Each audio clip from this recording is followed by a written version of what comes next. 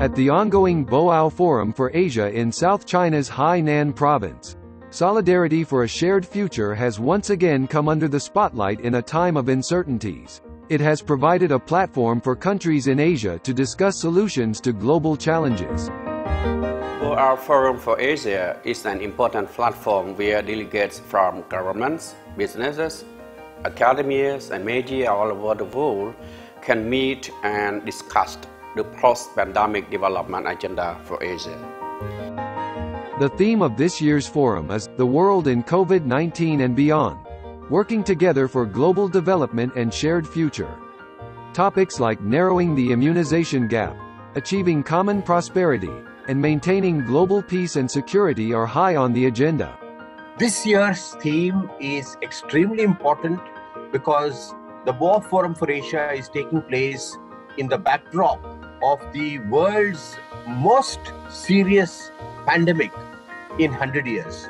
And therefore, the theme of this year's summit is uh, something that is relevant universally. This shows China's commitment to care for the development of the entire world. Experts say, to address the issues, China has been committing to finding solutions. China was very effective in two regard, I would say.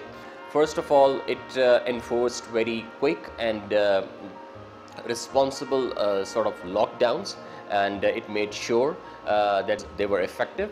And secondly it developed vaccines and uh, it started rolling out the vaccines especially to the developing and the poor countries. We'd see even even to Pakistan and in, in Africa. And it shows that China is not only an economic leader but it also cares about the world. Uh, talk about the challenges facing the world today of integration of uh, confronting the climate change, of confronting the pandemic, all these things can only be done through uh, multilateralism. The, the, the, no single country can provide a solution to it. And so China is leading a new form of international relations where peace and development is at the heart.